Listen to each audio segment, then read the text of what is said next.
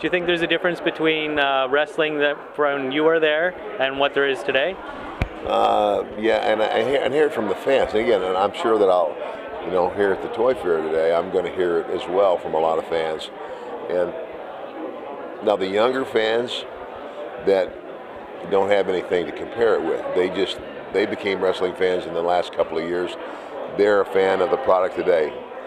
Well, they love what they see and what and, and they're they're cool with that. But the older fans, a lot of them say, you know, it's just not the same. Like, you know, we they, they you know, I happen to be in that that era, you know, uh, the late '80s, the early '90s, Hulk Hogan, Macho Man, Randy Savage, Jake the Snake, and the Million Dollar Man. Uh, and people say, you guys were the golden age. Those were the best years.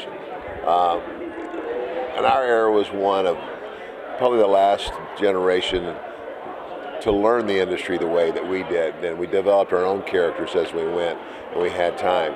Today, it's become much more of a drama. I mean, uh, Monday Night Raw is a three-hour show now, and uh, you know most people say, well, it's you know it's like you know two hours of talk and only about an hour of action. So, um, and of course, I'm not going to knock that because I was at WrestleMania this year. They set another record in another stadium.